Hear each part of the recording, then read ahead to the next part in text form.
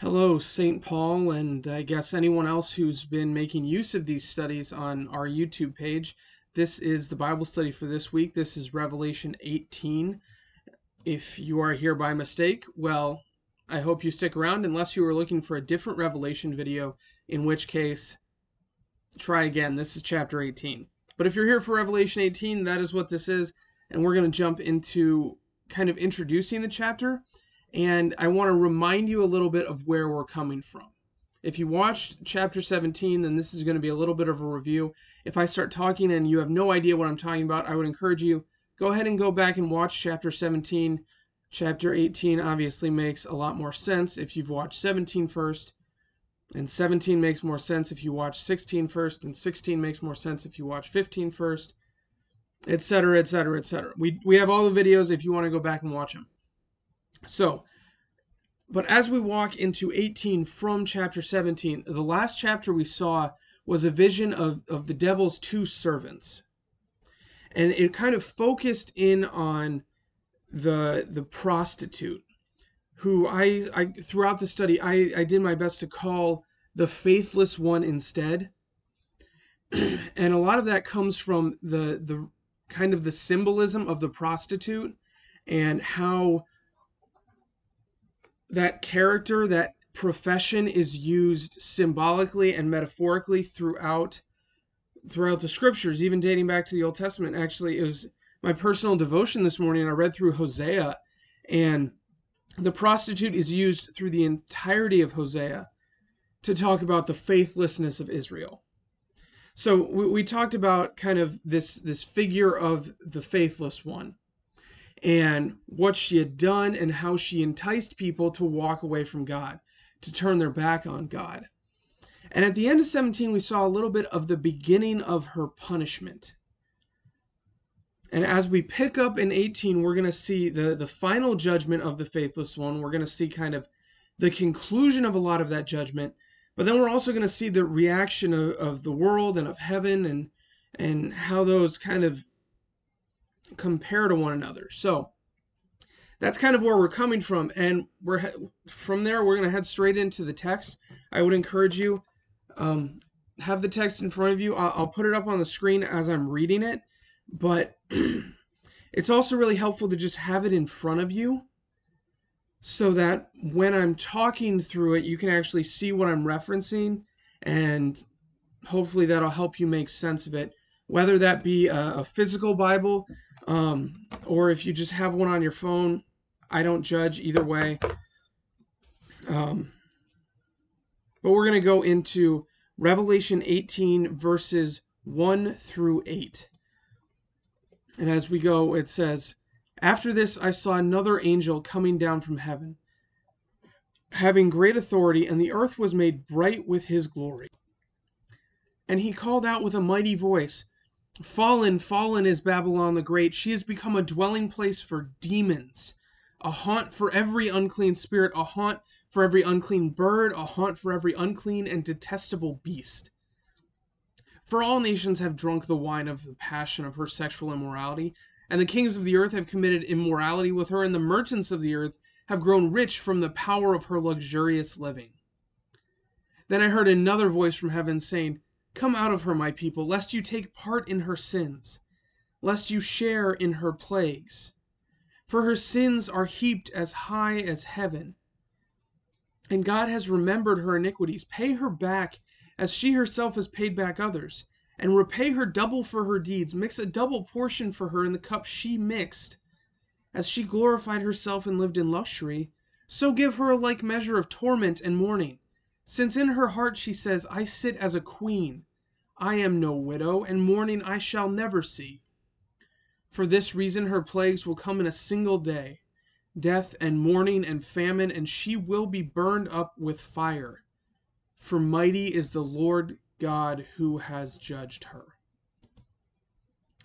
And that is uh, that's the first eight verses of Revelation 18.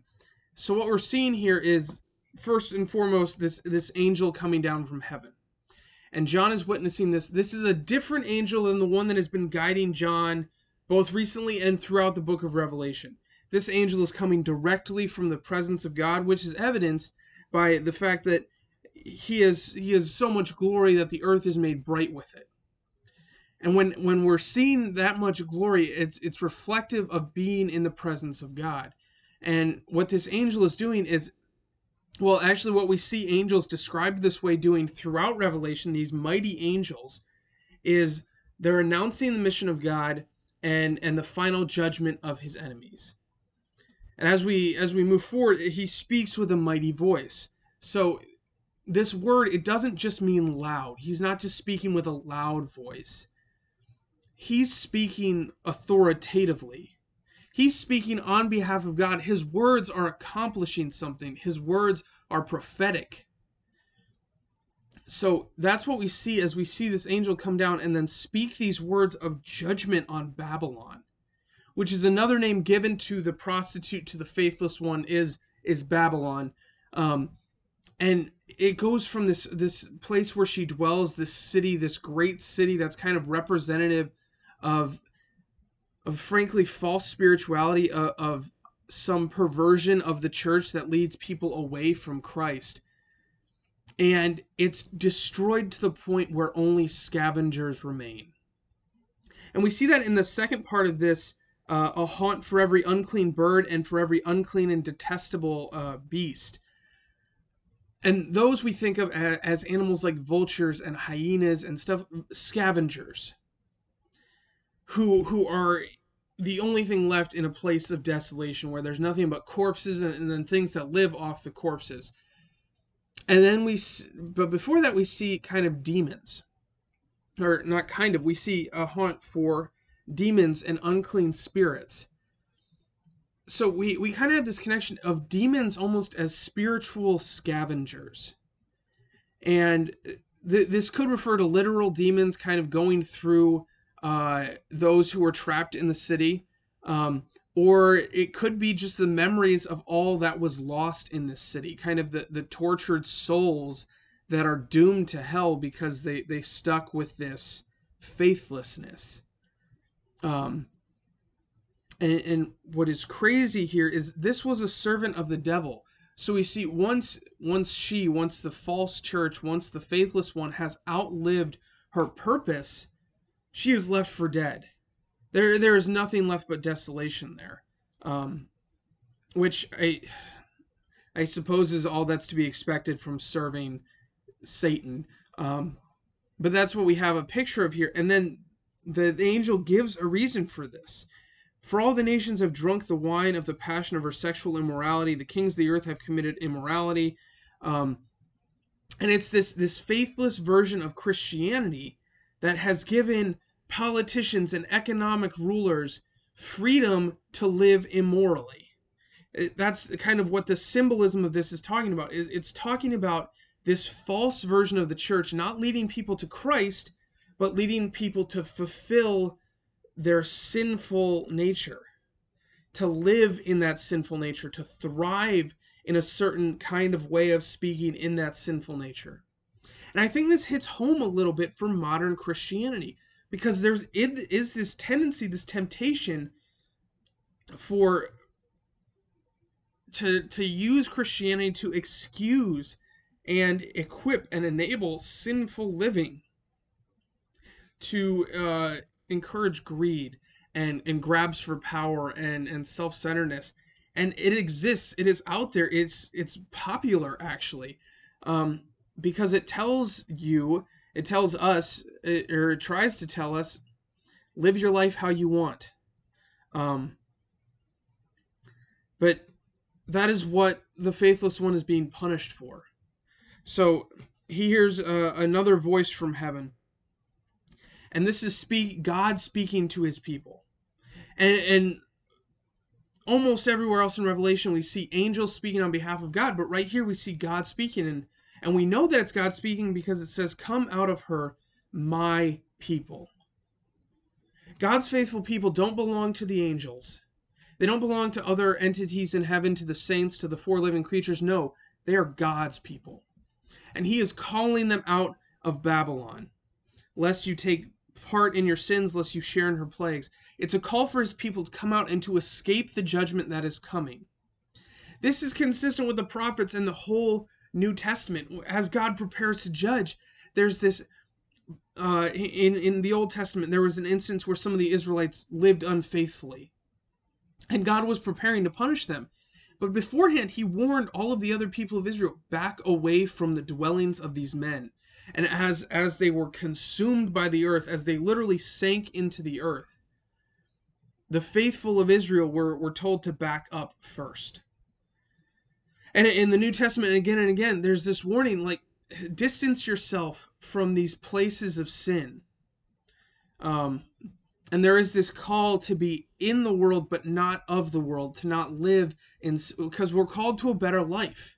You and I were forgiven in Christ. We, we have repented of our sins, and Christ forgives us and he welcomes us into his family, into a relationship with him with open arms. But the reality of that is that we're called to a life that's better so I, I, actually have a question for you because this this I think gives us a little bit of uh, a balance to be struck. In that, how should Christians interact with non-believers? And, and that's the question I have for you. Um, how should Christians interact with non-believers? Is it possible for someone to be outside of the faith, someone who we would need to reach out to the with the gospel without them living a life that draws people away from God?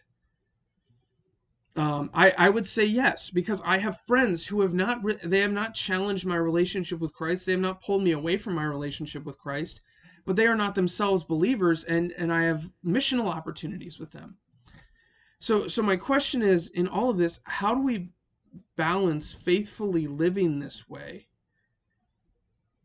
with faithfully living in mission as we are as we are called to do? In that we should be distancing ourselves from from sin and those who would draw us away from Christ, but at the same time we're called to reach out to those people and to bring them back to Christ. So that's that's a discussion for you. Um, so with that, continuing through this text, it talks about the it goes back to speaking of the faithless one. Her sins are, are heaped high as heaven. Her sins are piled high. This is so this is such uh, a quantity of sin, an overwhelming amount of sin that God can no longer put up with it. And, and he goes forward and he speaks to her punishment. And he says she's going to suffer twice what, what she has done to my people. She has suffered, she will suffer a double portion. Um, and these are commands to the agents of God's punishment. This is not you and I. These, this is to the angels that are carrying out God's judgment. Um, and and in fact to some of the servant her servants who as we saw in 17 are going to rise up and kind of i guess be a threat from inside. Um, and god is commanding them. She is going to suffer twice what she has wrought. And we see here there's a direct correlation between her boasts and her punishments her her luxury, her pride, her all, all these things that she's boasting, she then suffers punishment that's it's pretty directly connected to that. And then as we get to the end of this these first verses it says her plagues will come in a single day. And what this is communicating is it's going to be sudden and overwhelming. All of these terrible things are going to happen all at once. When God's judgment comes, it is going to be swift and powerful and overwhelming. And, and that is what is, is being promised to this great enemy of God's people. So, as we move forward, we're in these next few verses, what we're going to see is we're going to see the reaction of of the world and of those who were kind of in league with the faithless one. So as we do that, we're going to move into Revelation 18 9 through 19. And it says, And the kings of the earth who committed sexual immorality and lived in luxury with her will weep and wail over her when they see the smoke of her burning. They will stand far off in fear of her torment and say, Alas, alas, you great city, you mighty city Babylon! For in a single hour your judgment has come. And the merchants of the earth weep and mourn for her, since no one buys their cargo any more. Cargo of gold, silver, jewels, pearls, fine linen, purple cloth, silk, scarlet cloth, all kinds of scented wood, all kinds of articles of ivory, all kinds of articles of costly wood, and bronze, and iron, and marble, cinnamon, spice, incense, myrrh, frankincense, wine, oil, fine flour, wheat, cattle, and sheep, horses, and chariots, and slaves, that is, human souls. The fruit for which your soul longed has gone from you, and your delicacies and splendors are lost to you, never to be found again. The merchants of these wares who gained wealth from her will stand far off, in fear of her torment, weeping and mourning aloud. Alas, alas, for the great city that was clothed in fine linen, in purple and scarlet, adorned with gold, with jewels, and with pearls. For in a single hour all this wealth has been laid waste. And all shipmasters and seafaring men, sailors, and all whose trade is on the sea, they stood far off and cried out as they saw the smoke of her burning. What city was like the great city? And they threw dust on their heads as they wept and mourned, crying out, Alas, alas, for the great city where all who had ships at sea grew rich by her wealth. For in a single hour she has been laid waste. And that is what we that is what we see in these um,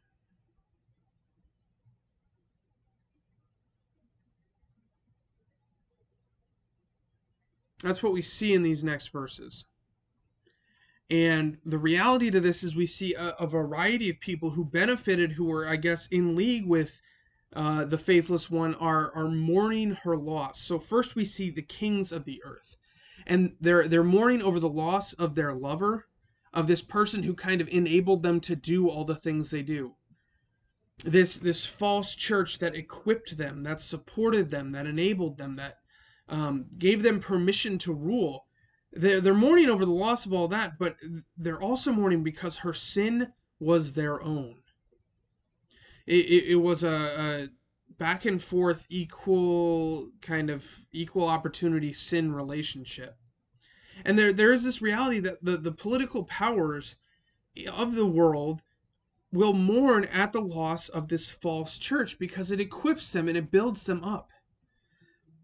So that's what we see with the kings. And then we go forward and we see the merchants of the earth are also mourning.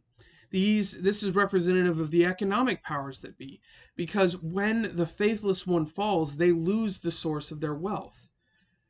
And and it, it goes through this whole list of their wealth that has faded and this is just what the new testament teaches it, it says don't put your faith don't put your trust in in things that moth and rust destroy and that thieves can break in and steal they're mourning the loss of all of this wealth when the, the New Testament warns over and over again don't put your faith in your wealth.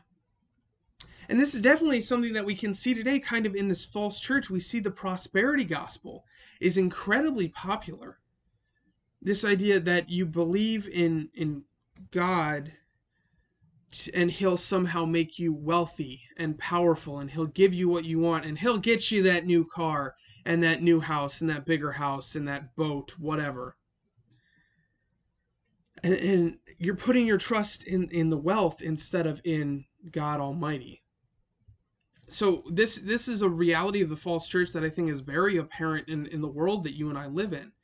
And as we go, there's this long list of all of the goods that are, I guess, no longer bought and sold. And they're kind of representative. You see things representative of money, kind of this reality of monetary uh, exchange. You have objects, goods, you have foods and spices, and then you have people and services. So, kind of, this, this covers pretty much all of, of economic trade, uh, fits into one of these categories, and this list is representative of that. So, we see the power of the economic uh, rulers that comes from the false religions um, also crumbling. And I think what is really interesting is some of the focus of, of this list are items that at the time would have been made into idols. You see ivory, you see wood and, and precious metals and, and purple cloth and scarlet cloth. These would have been involved with idol worship. So there, there's this also very direct connection between, I guess, the worship of wealth and the worship of idols. And that's what we have with the merchants. And then it goes to the seafarers, which again, they're, they're lamenting a loss of wealth that comes from the fall of the faithless one. But there's also a connection to the ancient city of Tyre. If you go in the Old Testament, the city of Tyre is overthrown by God in, a very similar way as we see the symbolic city of the faithless one overthrown here. And the the seafarers mourn in exactly the same way in that text. So it's something kind of interesting we see as we go forward in that um, there's this consistency. So, with this being said, with this section on kind of how people are lamenting and mourning the loss of the false church, I, I have a reflection for you. And this like before, this isn't a question I want you to respond to in the comments. If you want to have a one on one conversation with me, feel free to reach out if you want to talk about this, if you're burdened by this. But I want to talk about, or I want you to reflect on do you fall into any of these categories? Do you put your trust in, in politics and political power? Do you put your trust in wealth and the economy? Uh, do you do you place your trust in all these kind of fancy things that we've built up? Um, and do you take advantage of false Christianity? Do you take license to do things that you really you know you shouldn't? Because you can find some justification from someone using Christianity, using scripture in a way that they shouldn't be.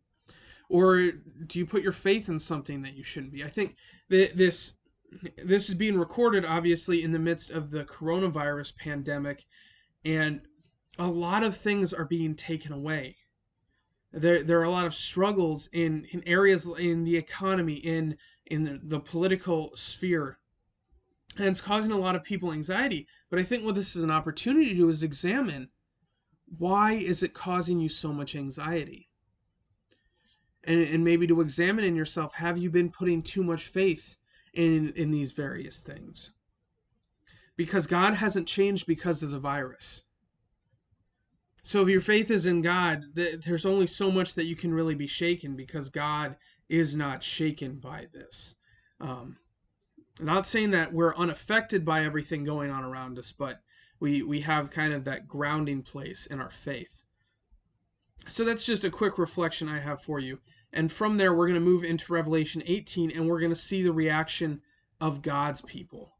Uh, Revelation 18, verse 20, which says, Rejoice over her, O heaven, and you saints and apostles and prophets, for God has given judgment for you against her.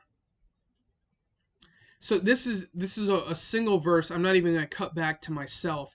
This is a call to celebration that really contrasts with kind of the mourning, lamenting dirge that precedes it, the, the words that precede it, because the enemy of the church has been overthrown. God has given judgment against the faithless one for his saints. This is justice on behalf of God's people.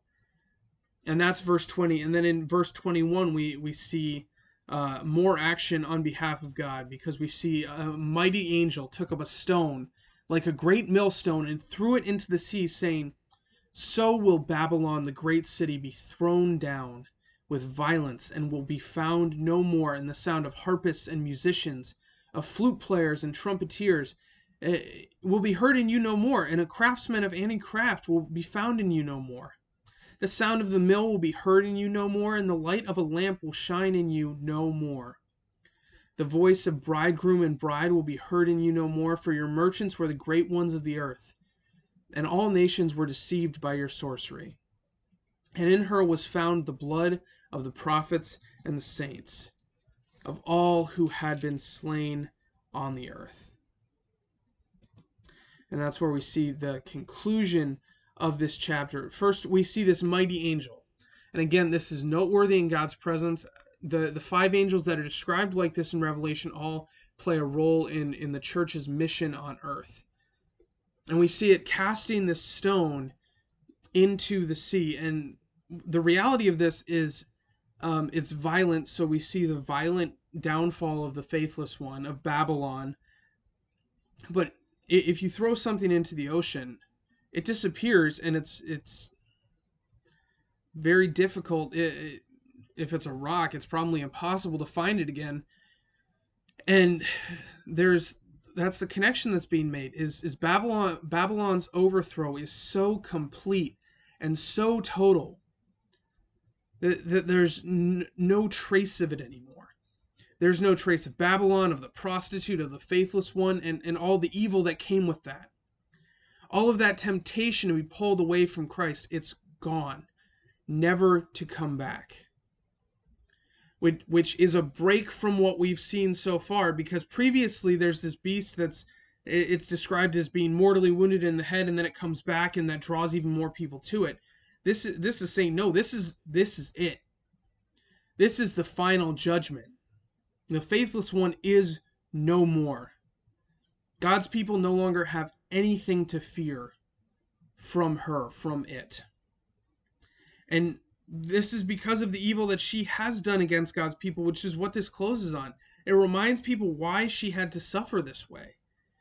For for her evil, for its evil against God's people, she's destroyed completely. God's judgment is and justice is complete for his people. And that's what we see this end on. We see this final judgment where God is saying, I have heard the cries of my people and I am acting on their behalf. This great threat to them, these great temptations, they are gone.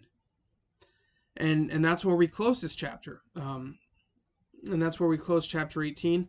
Uh, I hope this was helpful to you. If you do have any more questions or, or comments or concerns that you're that you want a, a more open discussion on, please comment below. Just type your comment in. I, I check. I'll, I'll go back and I'll do my best to answer them. If it's something you, you want a more personal answer to, feel free to reach out to me. You you can text me. You can message me on Facebook. Um, or if you want, you can email me. That's vicar at stpaulboca.com. V I C A R at stpaulboca.com. Um, so that's the conclusion of chapter 18. What I want to put before you now is uh, is just a quick rundown of some of the other resources you can find in this site. See, if you look below, there there's a button. There's a button. It's a red button. It should it says one of two things. It either says subscribe or it's kind of grayed out and it says unsubscribe. If it says unsubscribe, don't click it. But if it still says subscribe, I'd encourage you to click it, and here's why. Um, I'm not the only one who publishes Bible studies and devotions and other things to this this YouTube page. This is St. Paul Lutheran Church and School's YouTube page, and every Sunday we have live worship at 9 o'clock and 10:45. 9 o'clock is a, is a more contemporary service. 10 10:45 is a more traditional service. Um, and you can watch live stream. We we have the music, we have the liturgy, we have uh, the prayers and the the messages and the readings and everything and and you don't need anything. You just need to watch it because the words are all there. So we have that. Um, and that's every weekend. We also there's a Bible study that's going to be coming out by Pastor Andrew on the foundations in faith that kind of gets us back to the basics on what do we believe as Christians? What, what does what does St. Paul Lutheran Church and School teach? Um, so we're gonna have that daily devotions by Pastor Steve. Right now he's working through Matthew. Um, there's a podcast that comes out every Thursday that uh, talks about real world issues. So there's a ton of material, and it's all on St. Paul's YouTube page. So I would encourage you subscribe so you get notified when that that material is coming out. Um, but also just explore the YouTube page. It, it's all organized, so it's pretty easy to find whatever you're looking for. And I encourage you take this opportunity to get deeper into the Word, um, to connect in ways that maybe you wouldn't be able to connect otherwise. So uh, that that's where I'm going to leave this this Bible study. Uh, again, I hope it was helpful. And with that, brothers and sisters, I do encourage you uh, go in peace and serve the Lord. Thanks be to God.